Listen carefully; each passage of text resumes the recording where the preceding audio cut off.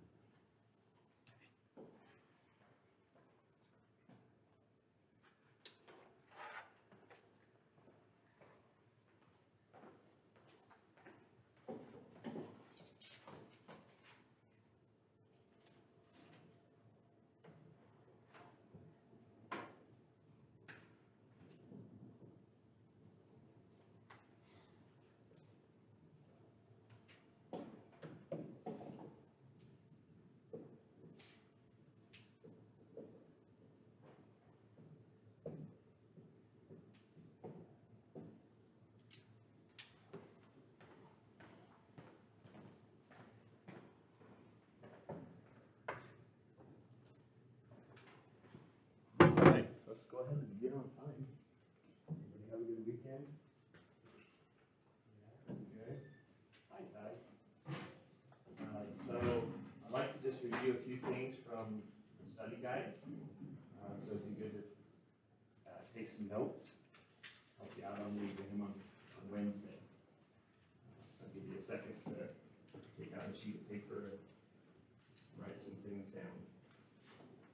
Um, so, uh, do you have any questions before I get into some things? Morning, Sheldon.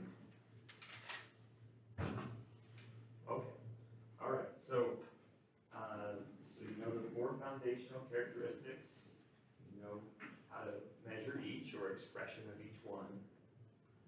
Uh, so, power, strength, hypertrophy, and localized endurance. Was that a PR for you in the eight hundred, two twenty-eight? It's like just off my PR. Okay. Well, good job. So, okay, so, uh, with expression of different which one would be defined as, uh, absolute force production? Strength, yes. Which one would be associated with a very high rate of force production? Yes, power, so the very high rate of force production.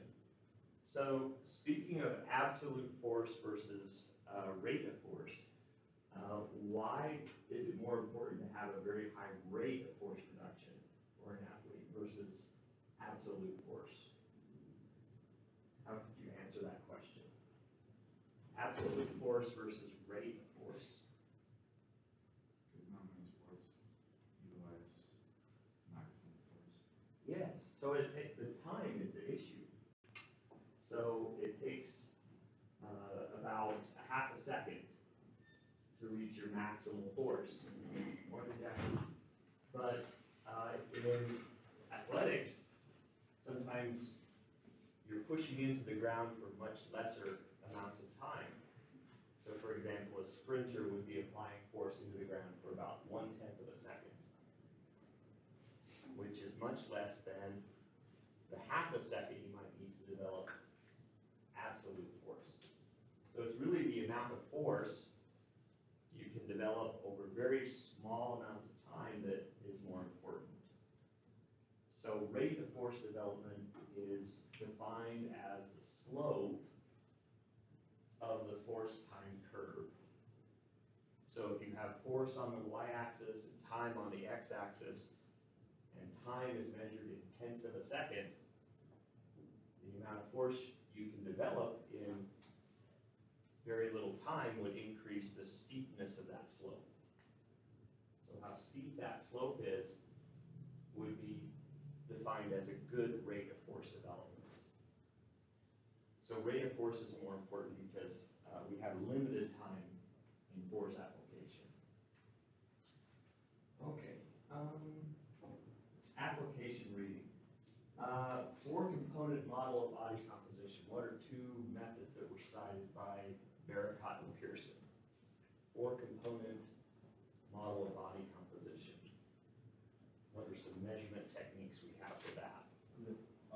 MRI, Yes. computed tomography? Yes. Good. Good. MRI and, and computed tomography are the two uh, four component models. And so these are the gold standard methods of body composition assessment.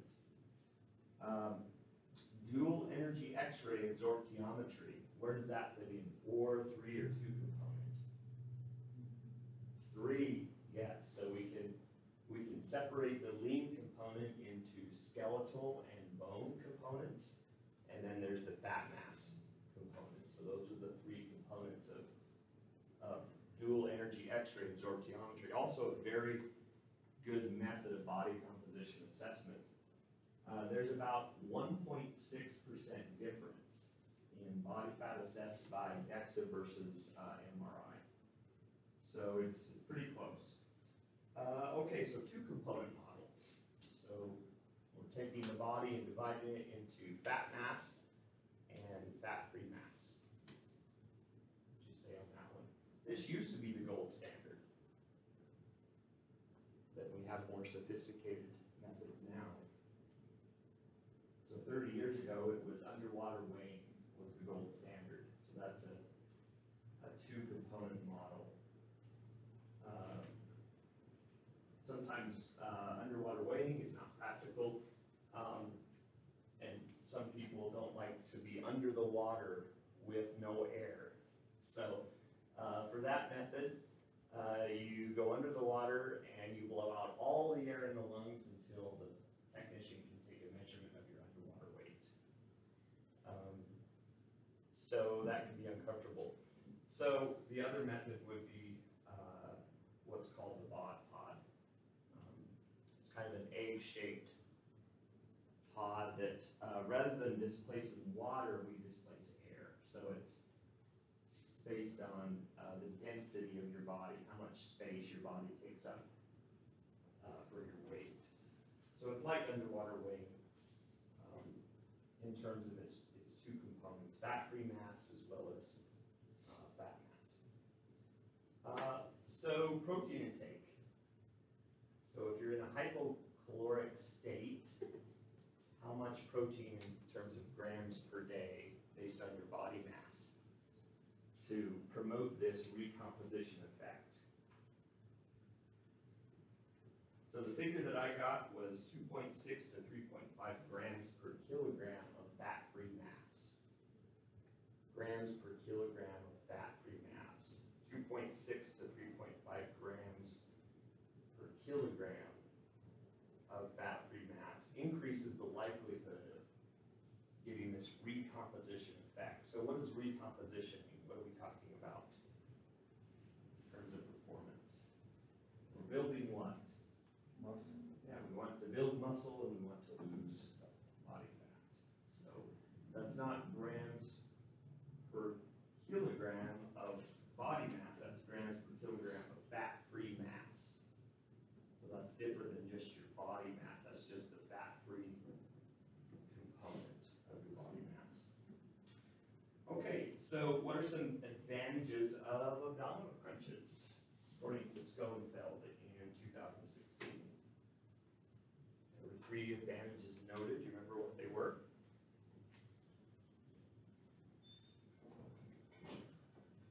I, I. So, one is nutrient delivery. So that's a benefit of, of all movement. Uh, the cartilage in our joints, uh, has a very poor blood supply. And so, no one, one in. Uh, so nutrient delivery is, is one, um, to the intervertebral discs. So that's what the nutrients are delivered, uh, to would be intervertebral discs. Um, spinal flexion is also relevant to lots of different athletic endeavors. If you think about how athletes move, um, in various sports, that, that can be relevant. Um, as well as dynamic emphasis under load, the rectus abdominis would promote hypertrophy.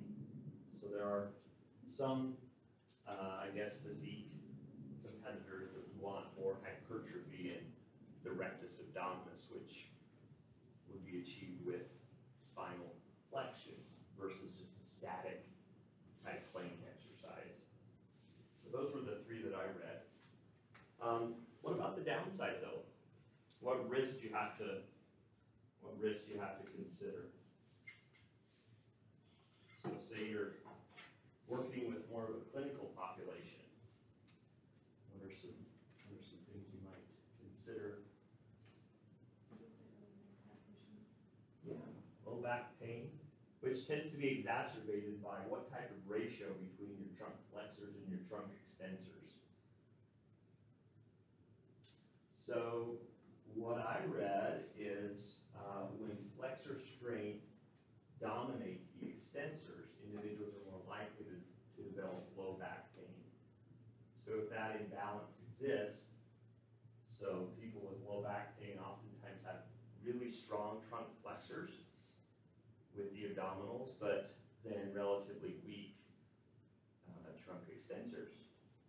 So with that type of imbalance, uh, what would be the problem with doing abdominal crunches?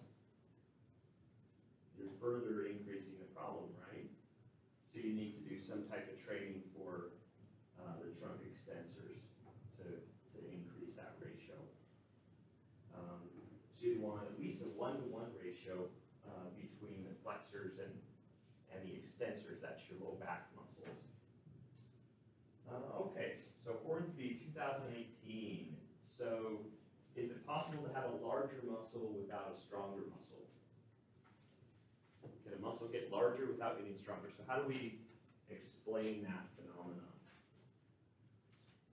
How do we explain that? A larger, larger muscle without necessarily a stronger muscle?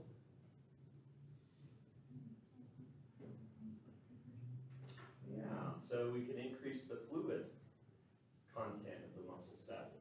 So that's something. Uh, what other components that are non-contractile components can we increase? What is the tissue called that surrounds muscle cells and bundles of muscle cells and the entire muscle itself? Fascia. Yeah, we can increase the thickness of the fascia, okay? Fascia is connective tissue. So that can, uh, increase the size of a muscle without an increase in strength. Uh, some of the other ones I, uh, read from the article, uh, an increase in capillaries, uh, glycogen content was another one. Uh, again, quantity of, of fluids in the muscle, okay, can increase size. Um, so at the very end of that article, what's meant by the generality of strength? Generality of strength. What does that concept mean? So if I do lots of squat patterns and hip hinge patterns and pushes and pulls and carries and, and braces, all of those things, um, we don't necessarily do those specific things as part of sports, but it's thought that those types of things transfer really well to sports skills. So the generality of strength discussed there, meaning increasing strength on a given movement with a given muscle should reflect an increase in strength in other movements using that same muscle.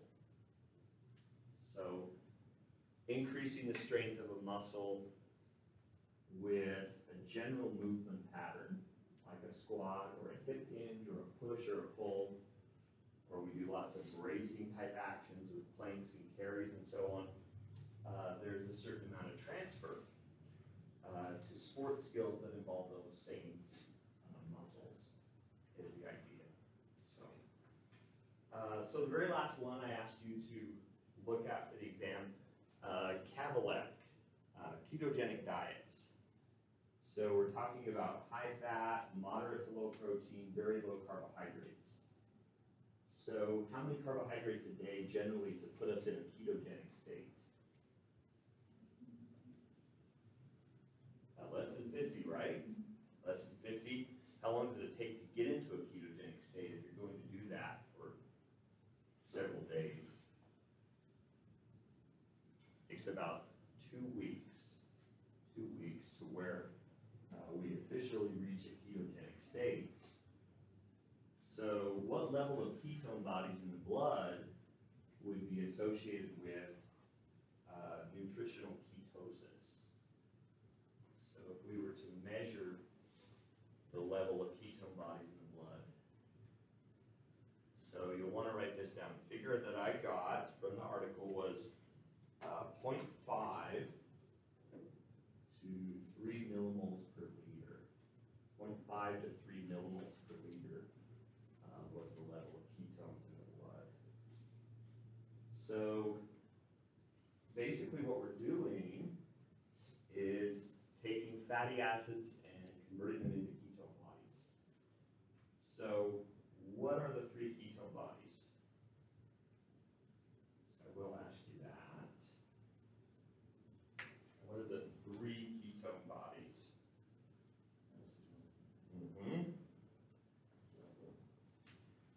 There's, there's two, two A words, acetone, acetoacetate, and a B word, beta hydroxybutyrate, good, yeah, so. Acetone, A C E T O N E, acetone. And then acetoacetate, so A C E T O A C E T A T E. Tested my spelling here, guys. Let me look, I have it written down. So then beta, uh, beta hydroxybutyrate, B E T A is the beta part, and then hydroxy, H Y D R O X Y, hydroxy, and then butyrate, B U T Y R A T E. So beta hydroxybutyrate, uh, so those three. So, tell me about this concept of metabolic flexibility. Does a ketogenic diet promote metabolic flexibility? Well, we, we become more effective at using fatty acids, but we become less effective at using what? Yeah, glucose. Glucose. Our bodies really like to use glucose under most circumstances. Um, so a ketogenic diet may promote a state of less metabolic flexibility. So the take-home approach was uh, more of a periodized approach to nutrition. So the uh, the author said one approach to maintain metabolic flexibility could be to include periodization of macronutrients based on a given training phase. So an athlete might use a ketogenic diet for several weeks during the off season. So off season, we're working on improving our body composition. So we want to train our bodies to be more effective at utilizing body fat. Okay, so ketogenic diet for several weeks during the off season, and then switch back to a normal uh, carbohydrate consumption uh, before competition. So we're able to get our bodies back into a mode that effectively utilizes glucose. So there's uh, some literature that supports um, this periodized approach for uh, ketogenic diet versus just a normal diet with more carbohydrates. Okay, so those are the articles. Any, any questions? Feel comfortable with those? Okay, all right, is this helpful? Okay, let me ask you a few more questions. So what is the connection point between an axon and a muscle cell? What do we call that connection? A branch of an axon and and the sarcolemma of a muscle cell. Motor end plate is one, what's another word for it? Neuromuscular junction. Neuromuscular junction, good. What area of the cerebral cortex governs creation of voluntary movement. Primary motor cortex, good. What's the definition of a motor unit? Yes, single nerve cell and all the muscle cells that it innervates. Good. Uh, which type of muscle action would be involved when lifting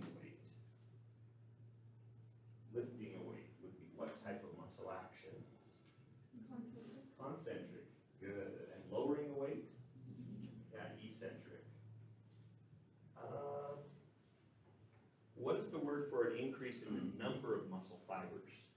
So hypertrophy over long periods of time can take place by increasing muscle fiber number. What, what was the word we had for that?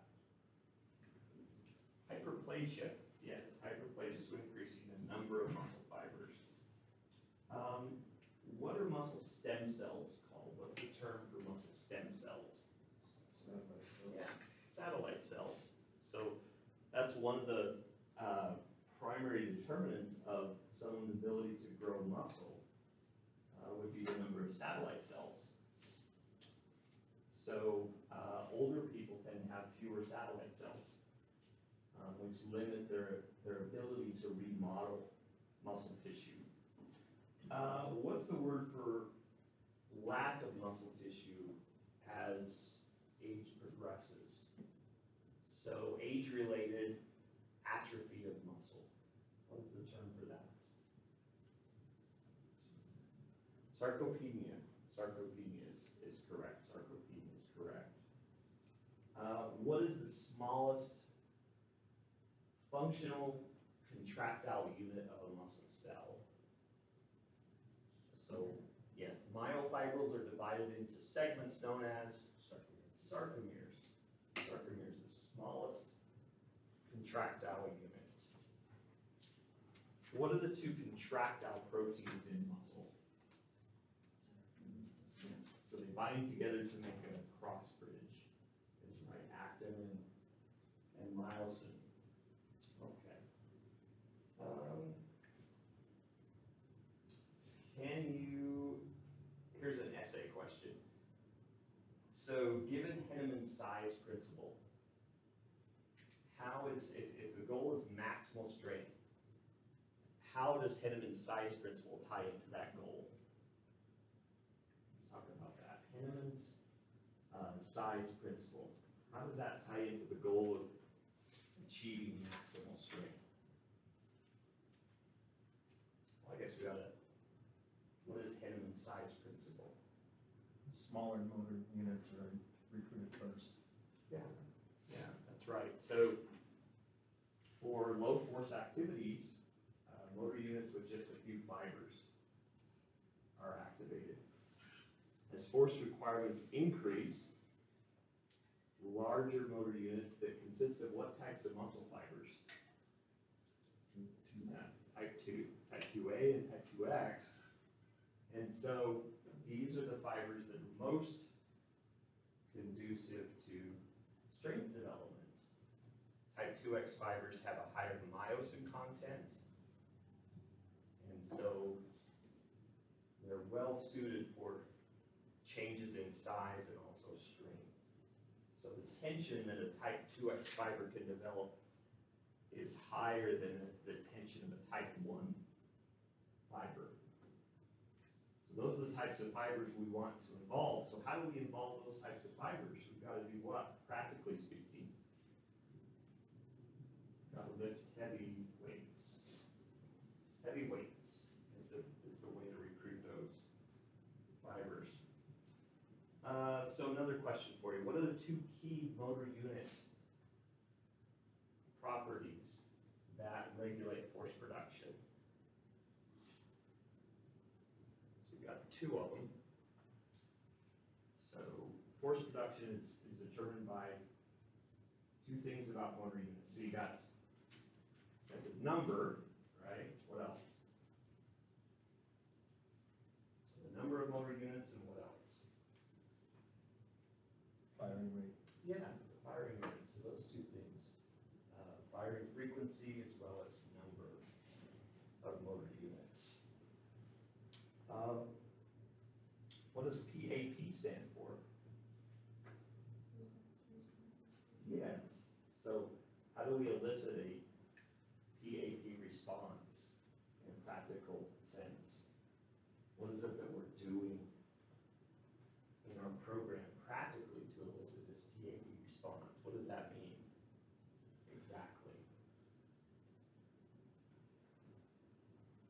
So we've got to have a conditioning activity, right?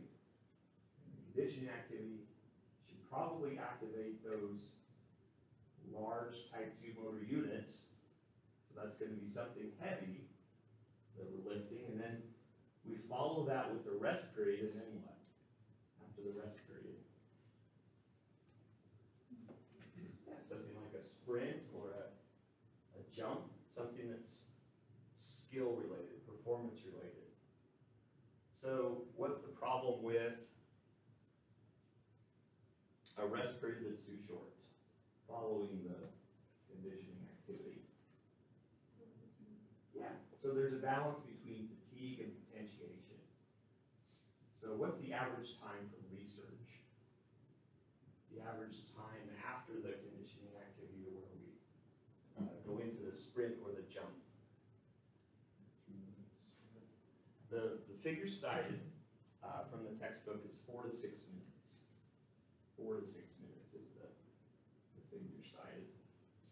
Um, so what can we do during that four to six minutes other than just passively rest? That was the discussion. Yeah. We can do things for different muscles or those muscles that aren't gonna be, uh, further fatigued by, um, additional We wanna stay away from the muscles that are recovering and, and the muscles that we're going to do the explosive activity with. Okay, let's see, um, Baker and Newton, two thousand seven findings. So if the intent is power development, what should be the, based on that study, what should be the most repetitions that we do per set? If the goal is power? Probably too many. From Six? Six, yeah, six or less, why? So based on that study, what did they find is the repetitions went beyond six in a set? They found that power was significantly dropping. So with power training, we want the first repetition to be just as powerful as the last. So if the first repetition is just as powerful as the last, we have very high consistency in rate of force development. We're training our bodies to, to be repetitive in high power output. So we're not doing an exercise like a power clean to failure. Because a power clean, the intent is, is just that, it's power. Um, so we want repetitions that are, that are very consistent in power output. So that study just six repetitions or less is best when the goal is, is power development. Um, you'll want to look at the Cormie two thousand seven study, um, in terms of exercises and the percentage of one RM that promoted the highest power. So I'm gonna let you do that. So Cormie two thousand seven, you'll want to look at the percentage of one rep max for each of those exercises that promoted the highest power output. So there was three of them, three exercises, and you want to, to look at the percentage of one rep max that, that promoted the highest power output for that. Okay, almost done with chapter four, force velocity relationship.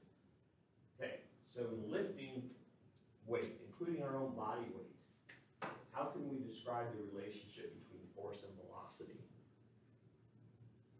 Lifting weight. Force versus velocity. High force means what for velocity? Yeah, low velocity. So, and, and we're not talking about exertion, because we're getting maximal exertion all the way through the curve. It's just the amount of load that we're working against.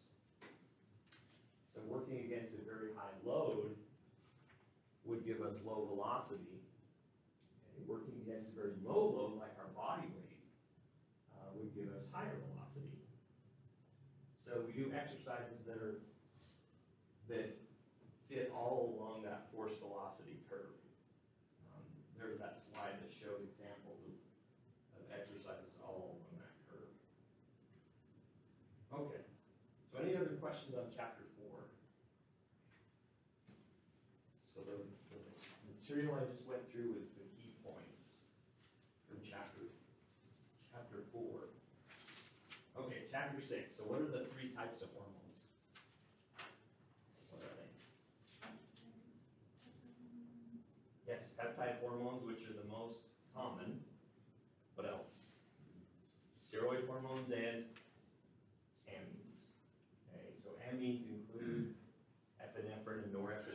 Steroid hormones are made from what nutrients? Yeah, cholesterol. Okay, so all steroid hormones come from that, uh, nutrient, cholesterol.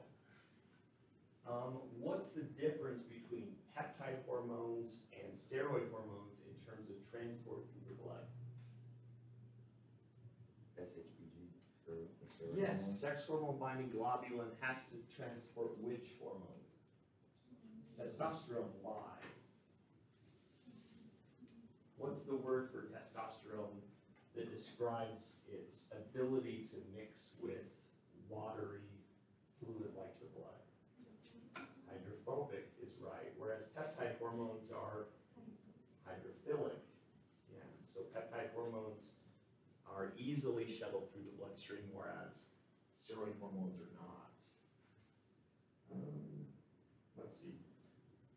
term we use to describe the constancy of the body's internal environment?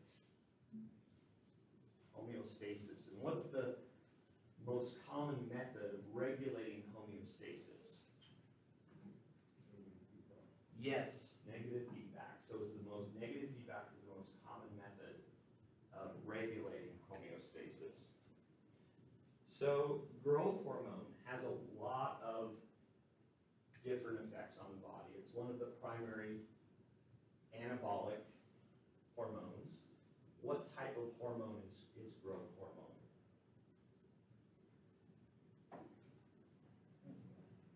It's an anabolic hormone, yes. Well, what category would it fit into?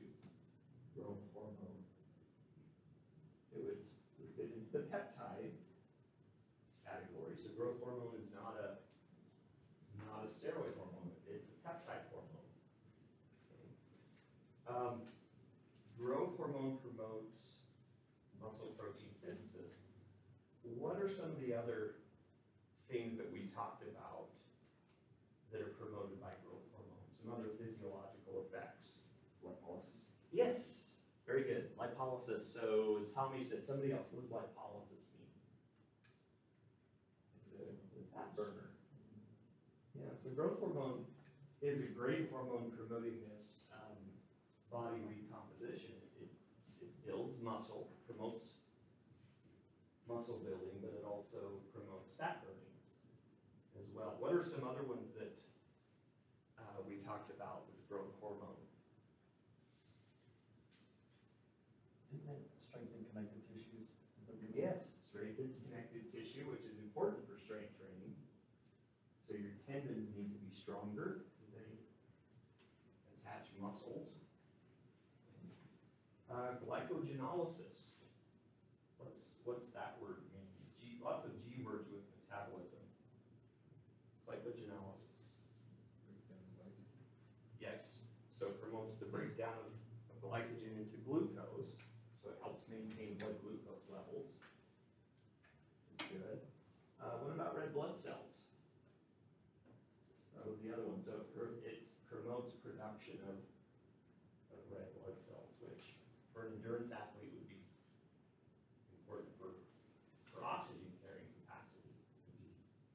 An important, uh, ergogenic effect. Um, let's see. What else?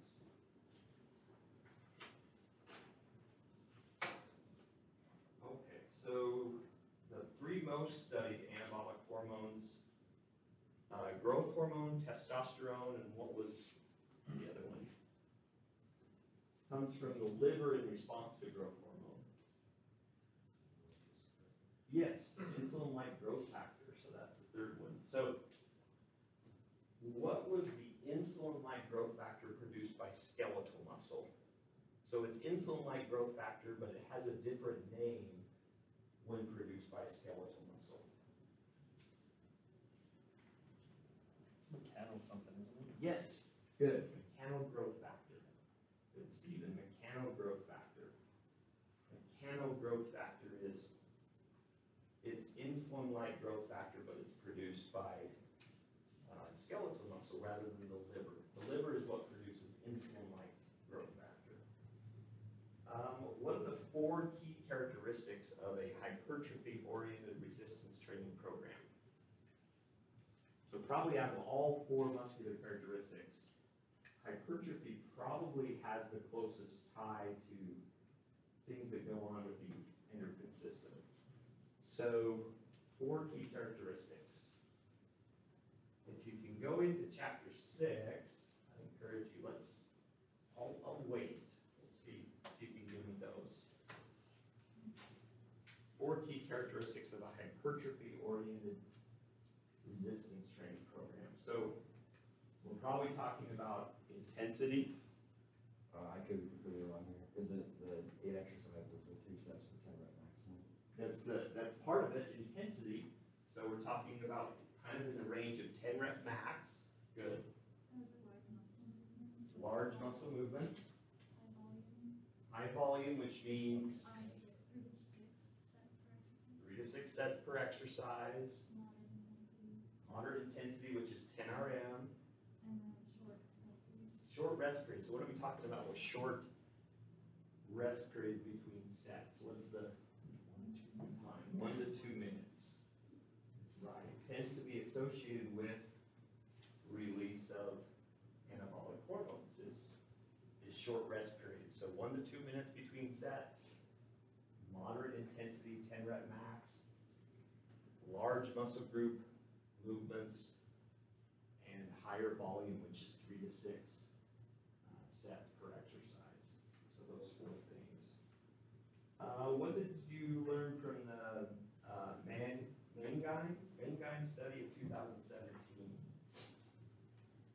So he looked at the acute hormone response and then long-term hypertrophy. And what was his conclusion? Is, so question number one, is are acute releases of hormones connected with hypertrophy? So the hormones that are released after a single workout, are those related to hypertrophy over several weeks?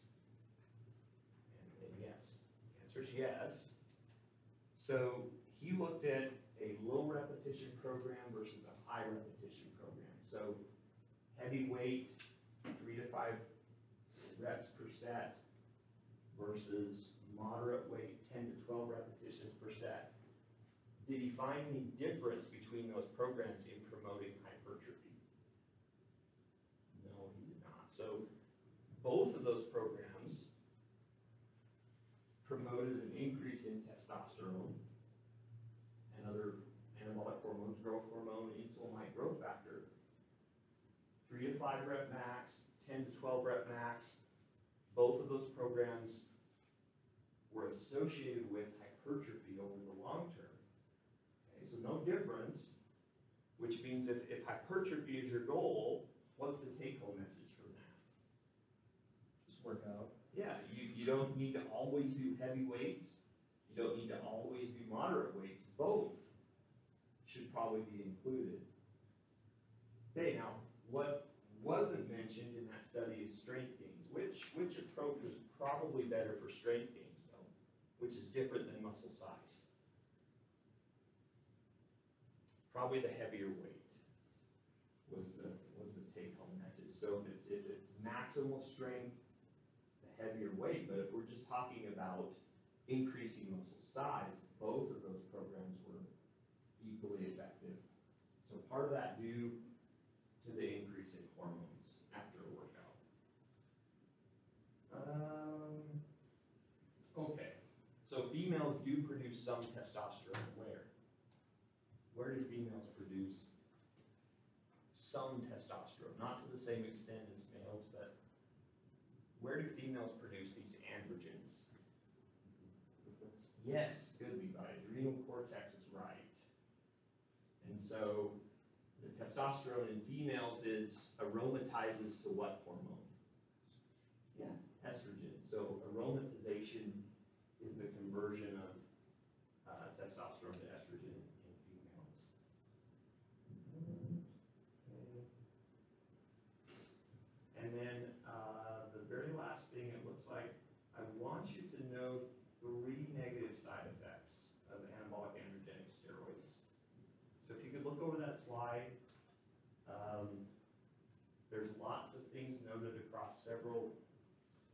body systems, and I'll just ask you for it though, for three.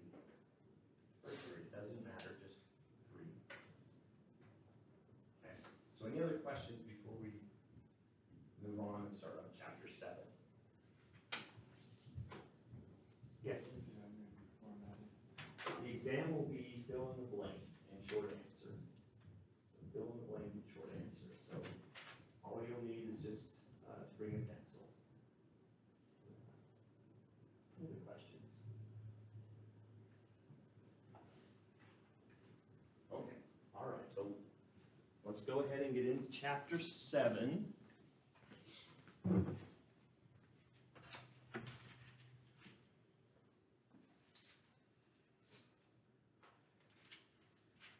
Okay, so chapter seven, screening for injury and assessing athlete performance.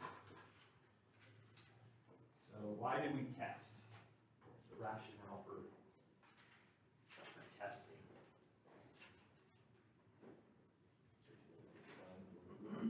Yeah, you need to have a, have a baseline, right? Certainly, different sports have different metabolic and mechanical demands. Okay, so some sports are, are maximal exertion over just a few seconds. Other sports are lower in intensity over longer durations of time. Uh, the mechanical requirements in terms of how you move can be different across different sports. Um, so with testing, it's important that you consider the time and the equipment that you have available. Uh, make sure that, uh, you're able to repeat, uh, testing at regular intervals. Um, to determine the progression with your athletes. Okay, so five reasons determine level of physical preparedness. Okay, establish a baseline, what Eric said there. Okay, so sometimes you may want to compare that with normative data. So through this chapter, we will talk about several examples of normative data. So an athlete undergoes a test, and they get their result, and the first question they have is, was that good? And that's why you have data, you can compare with, uh, the same population, the same group. So normative data is important to have for comparison. Uh, talent identification. Okay, so through some of these metabolic and mechanical tests, we can identify people that have a, have a good propensity to do well in a certain sport. So, um, think about that from strength and distance running standpoint. Uh, sometimes we test kids, you know, in elementary school, and we find that certain kids are really good distance runners. Um, or certain kids are really strong for their size. So certain people will gravitate towards, uh, different sports based on where they feel they, they have the most talent, chance for success. Uh, the last one, recovery from injury and readiness to return to play. So there's lots of, lots of tests to do. Um, to determine um, after an injury whether whether an athlete can then um, resume with their team. Okay. So one of the most important things about testing is this term validity. What do you think of when you think of the word validity? Something is valid.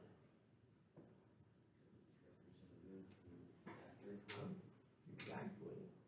So I like the analogy you have a target. And the measure, the, the true measure of a characteristic is right in the bullseye. The true measure of a characteristic is right in the bullseye. And so we measures a truly characteristic. We want to hit the target right in the middle of the bullseye.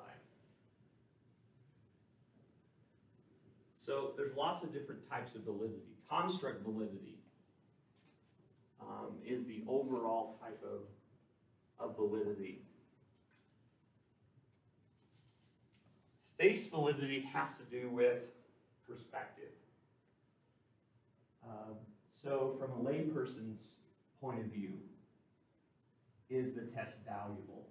From a layperson's point of view that, isn't educated in, in the reasons for testing, from their perspective, does the test look like it's measuring what it's supposed to measure? Okay, so reliability. What do you think about what, in terms of reliability, what's the, what do you associate with the word reliability? Yeah, consistency. So back to the target analogy. You have a test that is consistent but not valid. In other words, you're getting the same result every time, but it's not an accurate indicator of the characteristic you're trying to measure. So the answer is yes. So ideally, we want a test that's both reliable and valid, so we get consistent results and a measurement that truly reflects the skill that we're trying to measure.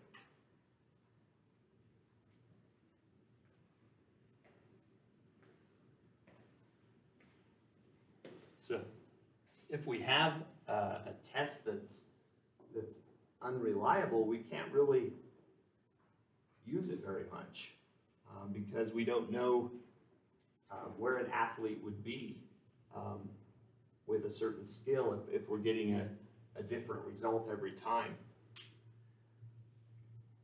This has a lot to do with uh, strength testing for, for novices. So someone that has never lifted weights before, why is it important that we have a few weeks of, of building up before we do a max, like a bench press max? See the graph there. Common learning curve observed in novices. Notice the steady, steady increase in performance over the first two to three sessions. Normally data stabilize and variability is reduced after two to three sessions. Think about that with a group of, of novice weightlifters. What changes are going on in their body, would you say? Generally speaking, what would you say a group of people that's never lifted weights during the first two to three weeks or so, what system in their body is upregulating and learning to activate motor units and increasing coordination, all of those things. So during the, during the first couple of weeks, it's a lot neurological, isn't it? So person that's never lifted weights can become stronger almost on a session-to-session basis. Session to session, they demonstrate an increase in their one RM because their nervous system is changing very quickly. And so to get, get a reliable result, we have to allow a few sessions for their nervous system to get used to doing the new movement uh, to where we can get a consistent measure of, of bench press performance. So this would be for novices. With, with more advanced, uh, their nervous system is already prepared and ready for those maximal loads and and so we wouldn't need a build-up period for that. Okay, so intra-rater reliability is reliability with the same test person. So the same person judging on two different occasions gets the same result. So inter-rater reliability. So if two different coaches have stopwatches and they're timing the same athlete, they should have similar times.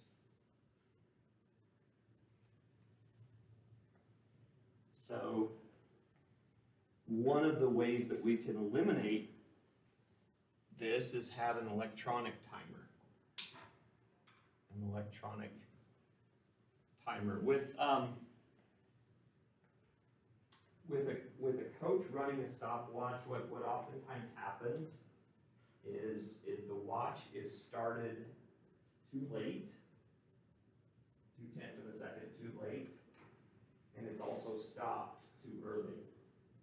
So the watch is started too late and it's stopped too early. It's a common, common error. So we can eliminate a lot of that with technology in having an electronic timer. So what other strategies could we do to improve reliability? If you have several coaches assessing the same test, what are some things you could do from the outset with coaches and athletes to improve consistency?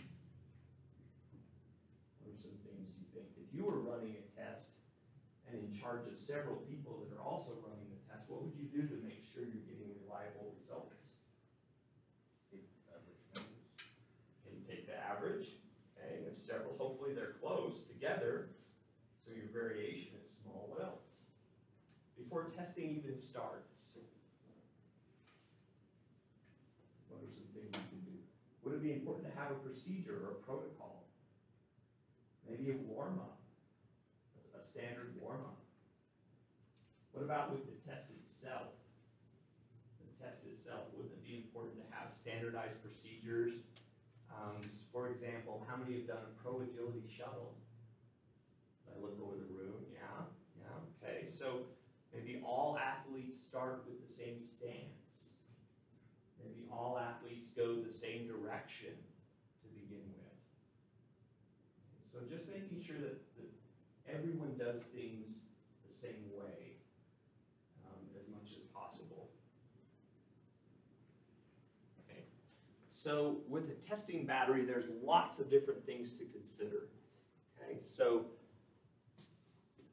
muscle actions, okay, we know, we know what those are. Uh, planes of movement.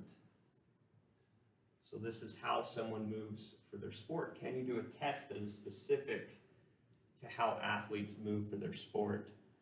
Uh, kinetics. That has to do with force and power production. So how many have done a force plate test? Better be some hands going up, okay? Kinetics, that's, that's force. That's why we have force plates and we, we do those tests. Kinematics. Kinematics is things like velocity and acceleration. So we can measure those things with uh, electronic uh, timers. Uh, metabolic systems. So we want the energy demands of an athlete to be tested.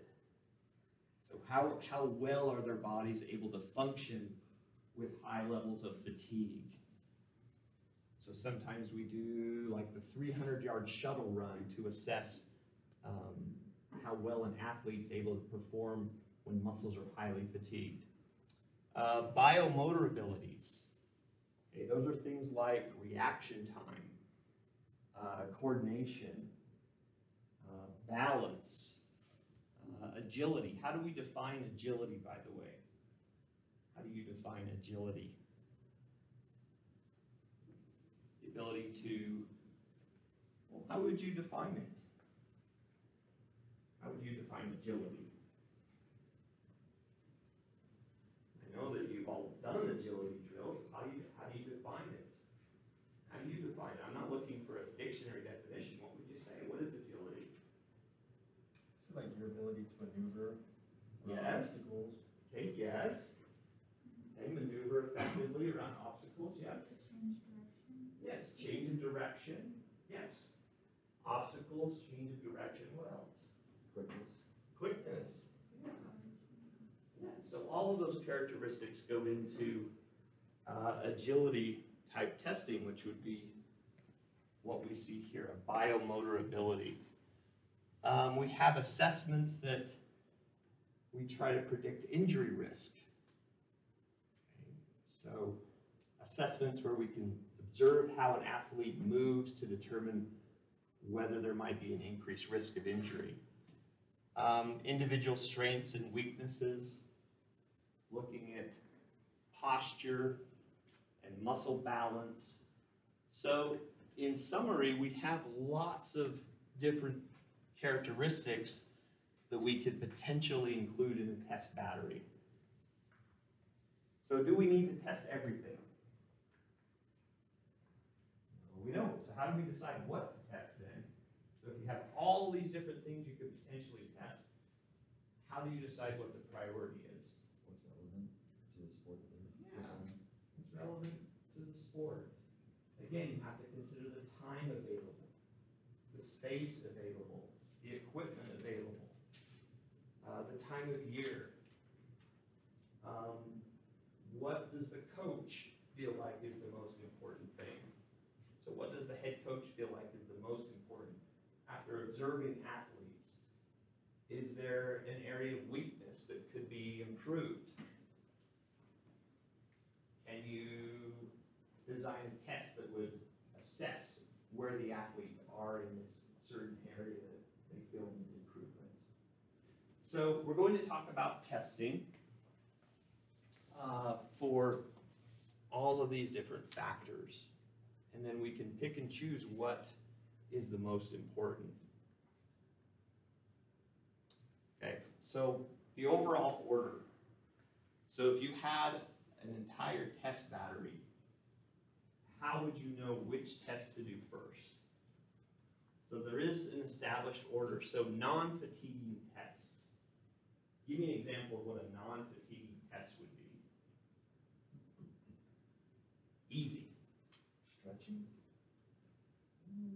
Mm, yeah, yeah, sit and reach, okay? Even easier than that. How much exertion does it take to measure someone's height?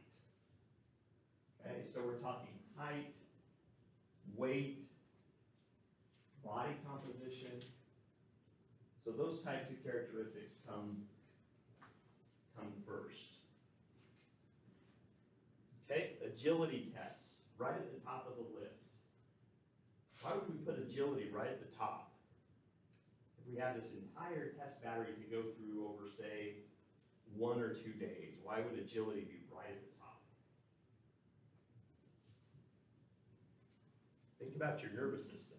I don't know, I would just say soreness. but, you know, Yeah. I'd be less agile after I did extensive the day before. Yeah. So how would you feel if you had to do a twelve-minute run just before an agility test? How well would you do on the agility test? Probably, probably not good. So things that have a very high motor component that are neurologically complex, that require very high rates of force and power, high intensity, things that are done quickly, we need to be in a non-fatigue state. So agility is right at the top of the list after the non-fatiguing tests. So next would come maximum power and strength tests. So give me an example of a power test. Power test. Wingate, okay? Yeah, that's a thirty second test. I'm talking about more something that'd be over like that. Vertec, yes, what does the Vertec do? Yeah, vertical jump. Vertical jump, maximum power. So we could estimate peak power and average power just from a, a vertical jump. Again, so back, how many have done the Wingate test? So it's a thirty second cycle test and you're, you're pedaling against seven and a half percent of your body weight. So think about your body weight, take seven and a half percent of that, and that's the amount of resistance that you're, that you're pedaling against. And it's, it's thirty seconds as fast as you can go, so you're not pacing. The peak power typically happens within the first five seconds, and then you're trying to hang on the best that you can for the next thirty seconds. So you, what you get out of it is a fatigue index. So how does your power the first five seconds compare your power the last five seconds? Um, it's probably a test that, yes, you can get peak and average power, probably placed somewhere down the listing order, and the reason is because it is highly fatigable. So, getting back to it, maximum power, we have vertical jump, what types of lifts would you do commonly to assess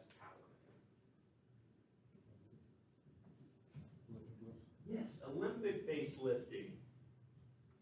Okay, so generally we don't do the formal Olympic weightlifting movements, the snatch and the clean and jerk. Typically we do parts. Like we might do a clean, a clean from the hang position. So let's talk about that. How many by the show of hands know what a clean is? Okay, how many know what the hang position is? So the hang position is right here. Okay, so you're just above, just above the knees. It's, it's called the start of the second pull. So a clean is where you bring the weight in one motion from the floor to a catch position at your, at your shoulders. So the first pull is from the floor to just above the knees, and then from the knees to the catch would be the second pull position. Um, so a clean from the hang position or a clean from the floor would assess a good assessment of power. So what are some common strength tests then? To assess maximal force? Yeah, one rep maxes. So what types of movements would we select for one rep maxes? How much you can curl? Squat maybe? A squat, what is it about a squat? Yeah, it's a ground-based compound movement that involves multiple muscle groups, and your ability to squat is connected to several different aspects of sports, such as sprinting really fast and jumping really high. So, those things. So generally, large, multi-joint movements that are ground-based. So, we might do, what, what about for the upper body? What would be a general assessment of pushing ability? Yeah, bench press. What would be an example of general pulling ability? Sometimes a deadlift, but pulling ability. Sled with like a rope pull. Yeah, we could do a rope pull, would be good for time, maybe for a certain distance. Yeah, pull-ups is a good one. Uh, how many have done a flexed arm hang? That's another, that's in the military, you do a flexed arm hang. So you're, you're hanging from a bar just like this for as long as you can be there with your chin above the bar. How many of you think you could go over a minute in a flexed arm hang? I know a few people that can, I've seen them do it. Okay, so what's good for military? You wanna be, uh, in the Marine Corps, what would you wanna be able to do for a flexed arm hang? Ninety seconds or better would be considered good for, uh, a Marine Corps test for a flexed arm hang. So try it, say it, pull yourself up to a bar, see how long you can hang there. Um, see if you can go ninety seconds. Uh, sprint tests. So what are some distances that we commonly assess? Thirty meters. Yeah, thirty meters was one that we looked at with the study, um, for different athletes. Maybe there's distances that are specific to their sport. So for Nolan over here, ninety feet is probably a good distance to know. That's the, from home to first base. So he's had his ninety-foot distance time several times. Uh, what about other sports? So the NFL Combine is coming up. Forties. Yeah, forty-yard dash. Okay. Sometimes for other athletes that are accelerating over short distances, just a ten-yard sprint or a ten-meter sprint. Whatever the case might be, is, is good. Just a short sprint would be relevant. So you have to look at what is involved with the sport when designing a sprint test. Okay, local muscular endurance tests come next. So what, what type of pattern are you noticing as we go further down the list? More fatiguing. More fatigue is right. Yeah. So you wouldn't want to do a max push-up test just before you do your max bench press, right? So we want the high-intensity, neurologically complex stuff to start with. And then as we go further down the list, the more fatiguing type tests. So local endurance. The, the flexed arm hang would actually be, for a lot of people, would be local endurance. Okay, What, what would be another test of local endurance? Why do we say local? What does that mean? Yeah, so it's just a limited amount of muscle versus more of a total body type movement. So a push-up test or um, a plank test, side plank and so on, would be a test of localized endurance. So it, it doesn't necessarily need to be a test of reps. It can be a test of time. Time, force held over a specific period of time.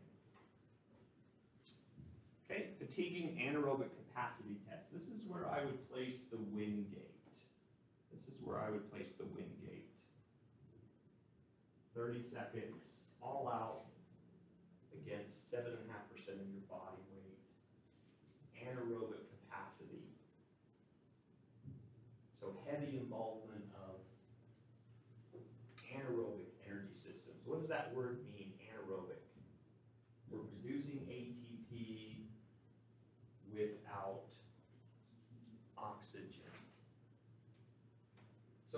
30 second all out test, we really have just minimal involvement of aerobic metabolism.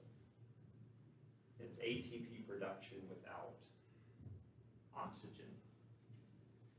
Okay, and very last aerobic capacity test. So this would be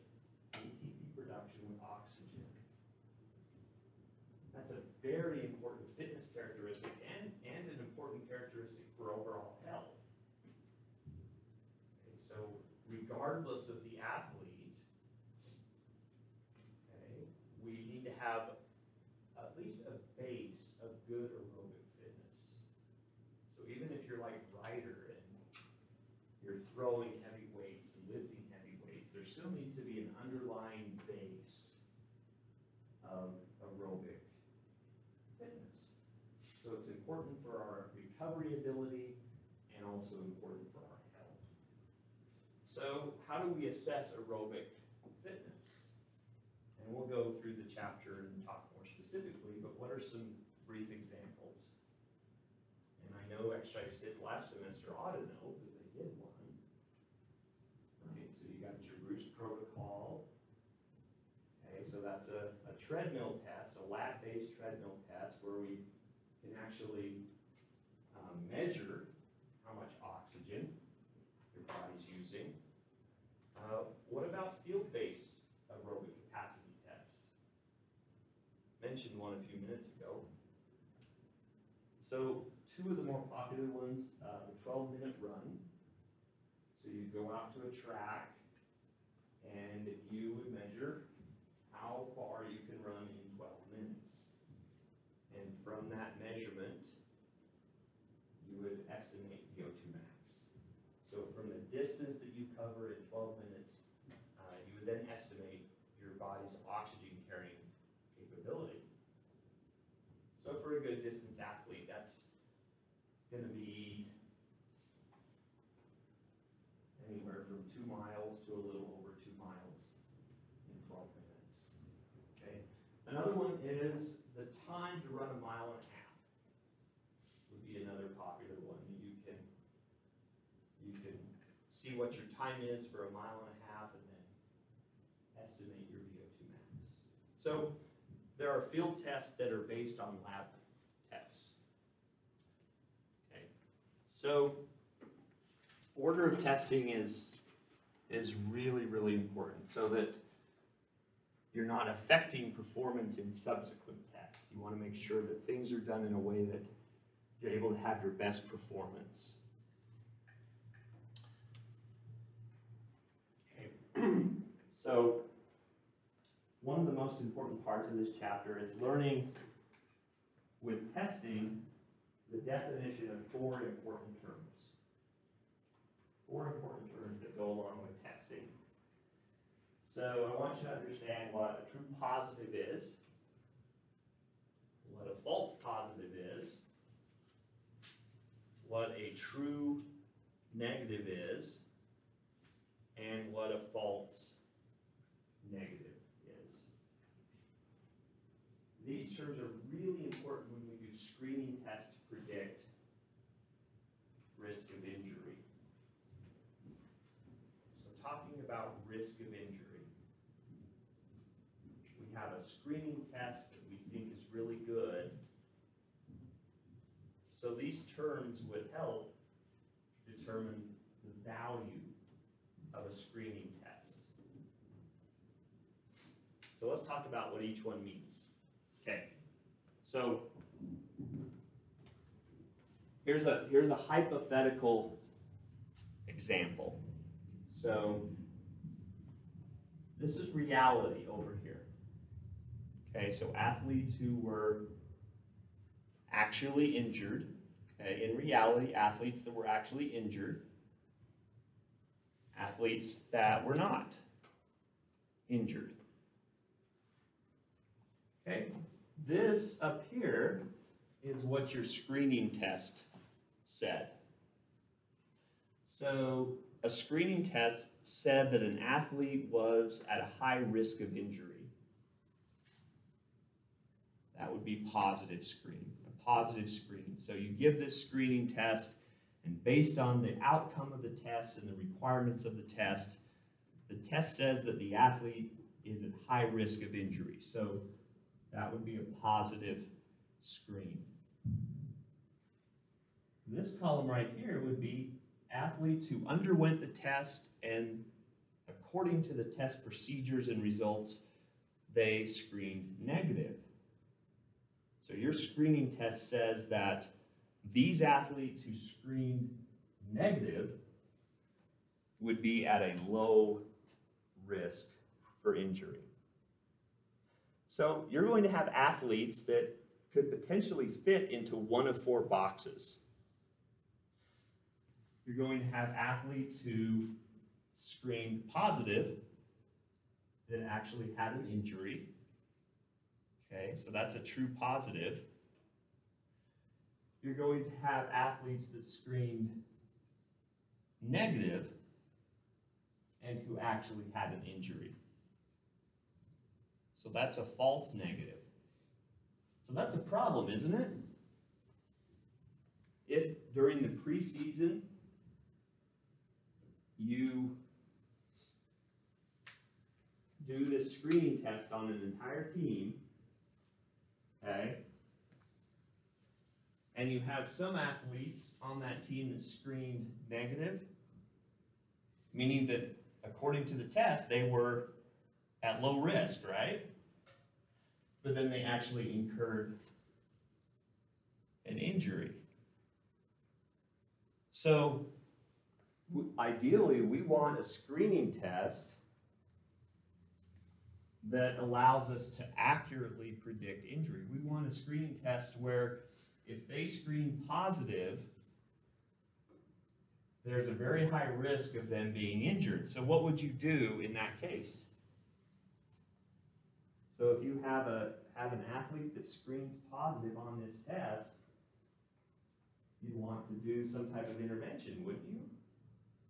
Yeah, so if you know that based on past experience that if an athlete screens positive on this test, there's a good chance they're going to incur an injury, you want to do something to prevent that. Which is why we have screening tests in the first place, so that we can do something about it before the injury actually happens. So we would do some type of intervention, corrective exercise and so on to reduce the likelihood that they would incur an injury. Okay, so over here they screen negative, but they have an injury anyway, that's, that's a problem with your test. Because we want the test to correctly identify those that are at high risk of injury. Okay, let's go down here. So these are, these are the athletes that did not have an injury. So in this case, this group would be the false positive group. They would screen positive, meaning that what does the test say? High risk of injury? High risk of injury, but then they didn't actually have an injury. That would be a false positive. Okay, so why is that a problem to have a false positive? Like unnecessarily prescribe a bunch of risk prevention strategies they don't even need. Yes. So athletes in this group might be doing a bunch of correctives that they don't actually need. Perfect. So you might be spending time doing a lot of corrective exercise things to reduce likelihood of injury when they're not actually at risk. Over here is where true negatives would be people that are negative on the screen and they actually don't have an injury, which is good. So what we want are screening methods that truly identify people that are at risk and truly identify people that are not at risk. So if we have a, if we have an entire team, we want people either here that we can do corrective exercise, or we want people here, okay, they screen negative and they're, they actually don't, don't have an injury. And we want people here where we can spend time on, on things other than corrective exercise. So in other words, we want a high percentage of true positives or a high percentage of, of true negatives. So these two things, false positive and false negative, those two things represent error in your test or limitations of your test. You don't want people to fall into these two categories, false negative or, or false positive, because that invalidates your test. Your screening tool is supposed to be a valid estimate of someone's risk for injury. So having a lot of false positives and a lot of false negatives would invalidate your test and, and could possibly lead to a lot of wasted time in, in prioritizing activities. So sensitivity is the percentage of true positives. Think about that, sensitivity, the percentage of true positives. The percentage of people who screened positive and actually had an injury. Sensitivity, the percentage of true positives.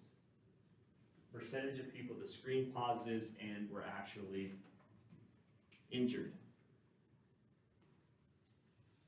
So to calculate that, you divide the number of true positives by the total number of athletes who were actually uh, injured. So it's just a percentage, the percentage of true positives. So a, an important point here, a test with poor sensitivity would incorrectly place a large number of athletes in a low risk category. So you want the test to actually identify people that are at risk. So you can do something with exercises to mitigate that risk. Okay, so the other side is specificity. Specificity is the percentage of true negatives. So think about that, what that means. Percentage of true negatives. The percentage of people who screened negative who did not have an injury. Percentage of people who screened negative with your test, and then they did not have an injury. So it's just a percentage. You divide the, the number of true negatives by the total number of athletes that didn't have an injury. So what Steven said is really important because if you have an uninjured athlete who screens positive,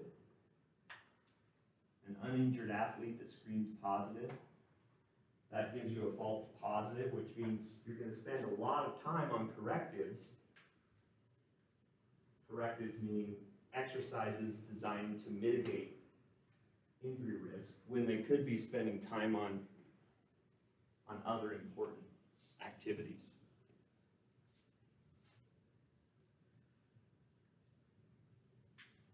Okay. So here's a hypothetical, hypothetical scenario.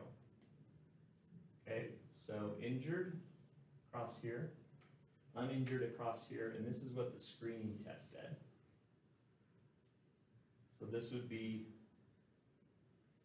true positives, right? The percentage of true positives. So one thousand, okay, divided by the sum of all people that were injured. So one thousand plus one thousand three hundred and fifty.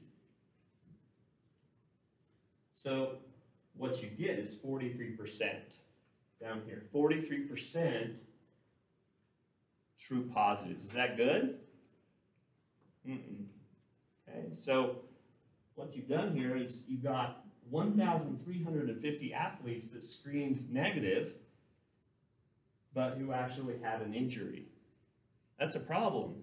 That means your screening test isn't very effective. So so one potential outcome would be to eliminate the screening test altogether, or you need to consider a different screening test. Because it looks like from this, you're getting a thousand true positives, which is good, but you also got all these people over here screen negative that got injured. So we're not effectively identifying people that are at high risk for injury. So what about specificity? So here's all of your uninjured across here. So you've got hundred and fifty who screened positive that were uninjured. You've got two thousand five hundred that screened negative that were uninjured. So we take, okay, twenty-five hundred is the true negatives. Divide that by the total of uninjured, which is one fifty plus twenty-five hundred, and you get ninety-four percent true negatives. Is that good? That is pretty good. Okay, when you look at the proportions, you have that many that tested negative. That, that means your test said they had a low risk of injury, and then they actually were uninjured. So a specificity of, of ninety-four percent, ninety-four percent identifying uh, true negatives, which is, which is really good. That's a, so, so you could say this test has a good specificity, but a poor sensitivity. So what, what, what we could say in summary is this particular screening tool is good at clearing, is good at clearing individuals that are at low risk for injury but poor at identifying individuals who are at high risk of injury. So it's good at clearing individuals, but it's not good at truly identifying those that are at high risk for, for injury. Okay, so any questions? True positive, true negative, false positive, false negative. I have a question. Do you understand what those four terms mean? Okay. All right, so please email me. If you have any questions on the study guide, please email me and I'll see you on Wednesday. Thank you.